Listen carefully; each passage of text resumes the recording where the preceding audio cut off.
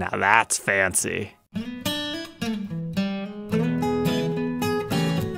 Welcome back, Troglodytes, to your daily dose of guitar information, the Trogly's Guitar Show. I thought we'd check out Carter Vintage today. Just in case you don't know, they have their own exchange. It's kind of like Reverb, where it's mainly their inventory, but other sellers are also allowed to list on their website, as well as individuals. Today's episode's not sponsored by them or anything, I just thought I'd let you know in case you didn't. But here's what stood out to me on their website. Let's kick things off with some nice Les Pauls. So we just recently documented the music rising, but these guys just recently sold a beautiful one. I think they were asking about 7000 for it. It's very very uniformly colored. I can see why somebody ponied up the money. It's got a good flame top underneath that too. And I like the extra wood grain that this backplate has. That one was number 146.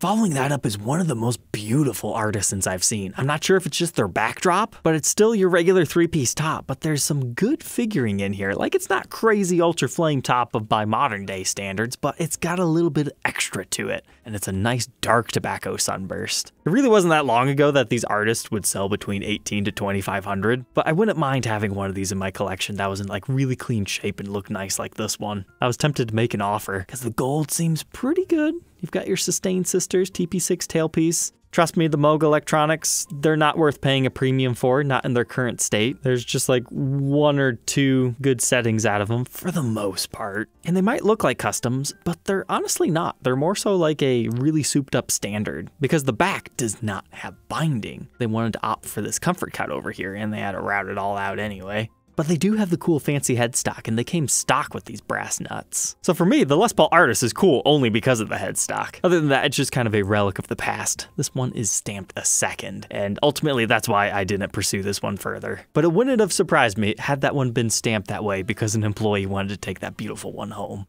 But now, how about this? An interesting piece from the early 2000s. This is the Diamond Cut Les Paul. I've seen about three of these. There's a really cool flip flop blue, and then there's this gold one. We had saw that other one in the Guitar Motel series that we had featured recently. And honestly, 5000 is not the craziest price for this one. I believe it's actually come down since when it was first listed. It basically just has CNC cutouts that make it kind of look like a honeycomb like effect, just in a parallelogram like shape. But that's the problem. It ends up looking like a studio that has a standards neck on it. So maybe not the Les Paul for everyone, but it has its place in history. The back of it is just completely black. And I can confirm 2003.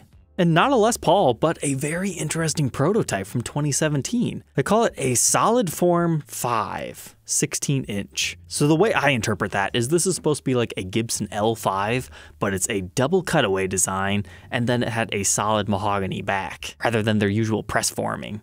Look at that headstock, you got the old style, the Gibson. But flipping over to the back, it appears I was right. So it's kind of like the Midtown series, but I would assume this came out of the custom shop because usually the custom shops get handwritten serial numbers when they're prototypes like that. Now it's listed at 9,000 and I'm not really interested in this style of guitar, but it is fascinating what the custom shop was playing around with. That's why I like checking out Carter Vintage because you just never know what you're going to find because a lot of times it's Gibson employees that bought things that can sign with them. So they get some good stuff. We've got one of the cool SG specials from the early 70s. I'm a big fan of the early 70s SGs because it was the first versions that I had experience with and they're just fun. They're nowhere near specced out like the 60s ones, but that doesn't make them not cool. So the special actually has these mini humbuckers here, which you don't find equipped on an SG every day, but you'll also notice that it does not have binding. A lot of times these will have gotten routed out for humbuckers and then they get mislisted as standards. But the SG standard was only offered in bound rosewood and unbound ebony ebony fretboards. So keep your eye out on that. If you find an unbound rosewood standard, it most likely started life as one of these specials. But cool to see one still with an ABR1 bridge. Looks like somebody's put an aftermarket pickguard on it. Swapped out our switch tip, but we've got our original knobs. Interesting three-piece body. That stock's looking pretty okay. Top of our truss rod cover's chipped though. But oh, all these get broken. That almost looks like it could be a scratch though. But nope, confirmed repair and they're asking 3600. That one seems kind of high to me. But also staying within the 70s, here's an E2 Explorer. I know we've been talking about these off and on. And someone teased me. They agreed to sell me one of these and another cool guitar, and then they backed out at the last second. So we almost got the review and demo of one of these. But I honestly really enjoy this one. It's got a lot of cool figuring wood grain right here that you don't always see on them, and a lot of just regular circular grain. But what's kind of interesting about this one is there's a harmonica bridge, and it's like extra slanted. Typically Typically, these just have the regular bridges. I would assume that was put on after the fact, but at least we still have the TP6. But this one was definitely played. It's got a nice worn vibe, but we still have the original Dirty Fingers pickups. Headstock is nice and ambered over. But here's where the fun starts. Authentic buckle worming and rash, but the back almost looks like Brazilian rosewood. They used really nice pieces of walnut on this, that's all I've gotta say. It really reminds me of my Yeti Les Paul Custom or some of the other crazier Brazilian top guitars I've had. But what's even more is look at that neck. Someone has sanded the finish off of it. You don't see that every day. But they left the finish alone right here. But it's always really cool to me to see these late 70s versions because most people associate the E2s and V2s with 1980, but they did actually launch in the late 70s. And for whatever reason, explorers of that era have a very different serial number font set. I don't know if I'd call this one quite stage 4 vibes, but it is kind of cool. But next up, they had this V2. So normally they look like this with the boomerang pickups. But in 1982, to help sell through the rest of the models, they produced a humbucker version. Now, how do you tell somebody hasn't just modified one? A lot of times they're in this candy apple red finish, and you need to look at your fretboard right here. Ones that initially had the boomerang pickups will have a cutout there. So if you have an area of your fretboard missing in humbucker pickups, you know somebody's routed it. Otherwise, it is the same. I like how they captured it in this photo, the center stripe of whatever it is, because it's either going to be a maple or a walnut stripe, depending on which configuration this one started life as before it was painted over. As far as our condition, we've got some scratches back here. This shows us this is the silver base coat candy apple red, not one of the early ones with the gold base coat. And somebody swapped out our tuners. But now let's get on to the expensive Epiphones. So here is a $2,000 Epiphone Joe Bonamassa Treasure Firebird 1. I think that's crazy. If you actually go to Reverb, there are other sellers asking that for that particular year and color run. And these Epiphones are really well respected. But price aside, I just wanted to share this one because it's beautiful. You've got the figuring in the mahogany on that side, you have some within your centerpiece of the body, a little bit of ringage over there. This photo helps demonstrate that even further, but then you can see the continuation of the figuring back here. Interestingly enough, it no longer says Epiphone on it, trying to hide that fact, I think. Your serial number and decal signature definitely give it away, but look at that. Vintage style tuners on there. That's why those sell for so much. It's a lot more accurate than Gibson USA has been producing within the past like 10-ish years. And it looks like somebody's upgraded our pickup and made some other modifications to it. So a niche buyer pool for that one for sure, but it's cool. And along similar lines, this is a 2009 Epiphone ES125 George Thorogood Custom. Now, unfortunately, I do not see any description on this one, and I'm only personally familiar with his Epiphone White Fang that they did a couple of years back. And those certainly don't cost 4000 so what's our story here? Well, let's take a look at it first. Jet black finish, dual dog ear P90 pickups, you've got the whiskey style knobs, black and gold combination with a chrome tailpiece, floating bridge design, ambered over binding with the Florentine cutaway. It almost made me think this was a USA produced one, but then you get to the headstock, you see the three screw truss rod cover. Oh, that's interesting. Back plates.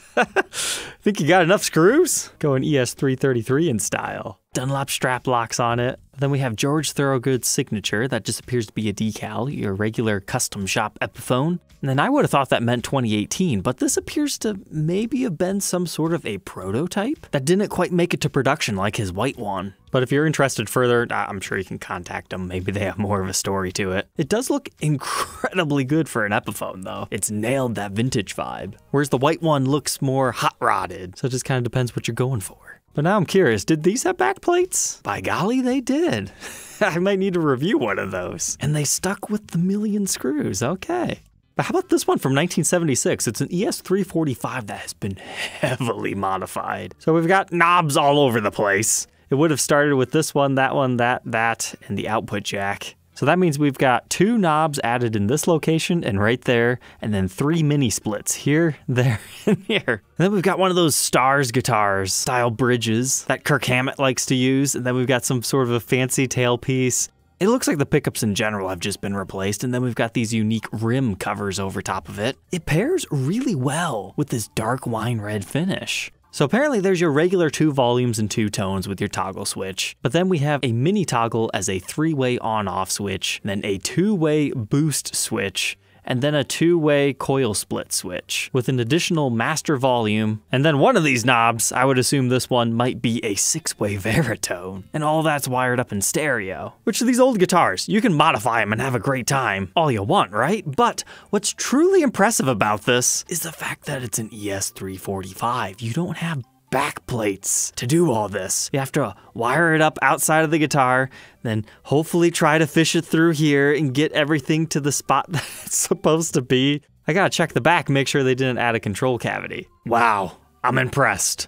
Only a small one, and it's probably just for a 9 volt battery, would be my guess. So, reading our description, this was done by Ron Armstrong, who worked with Alembic and at Stars Guitars. So, that makes sense why we have these things there. What a fascinating piece. They're asking 7,000 on it. But now check out the 62SG. It's a special, left-handed, and has a weird vibrola system on it. It reminds me a lot of the new Sheraton that we had just reviewed. Slightly different. You don't see that every day. Apparently the vibrola is not all that good. It's not currently strung up with it, but hey, it's cruise control for cool. So that probably means that was added after the fact would be my best guess. But this appears to be exceptionally clean. It wasn't played that much. They're asking eight and a half thousand. That is a nice piece, but this one's offered by Guitars West. But now let's give the basses some love. Here's a 59 EB2. Once upon a time, Gibson made 335 basses essentially. That's what the EB2 is. But this one's an awesome natural finish and it's got all the checking. And check out your back. It was definitely played, you can tell in that area. Looks like at least one replaced knob on it. And still just your one mud bucker. Ah, what is this? They messed with our tuners. Little banjo style. Looks like you got a little bit of flame figuring in your neck too. Cool. But if one mudbucker's not enough, how about a 64 that has the mini humbucker in the bridge too? But this one is a lot cheaper at 2500 because somebody put a skyburst finish on it. It doesn't look like the highest quality refinish, but I like the color scheme, especially with our white knobs and your purple strings. But this is my favorite thing. When people refinish old guitars, I like it when they at least leave the headstock alone because it just transforms the identity too much when you make that look new too. So even if it is a little bit beaten and tattered, sometimes it's a better idea just to leave it that way. But ah, these guys cheaped out. They had to cut a control plate out of the back. And they sank a strap button right there. All right, troglodytes, I think that's enough guitar hunting for tonight. Don't forget to like, comment, and subscribe, and we'll catch you tomorrow on the next one. Take care.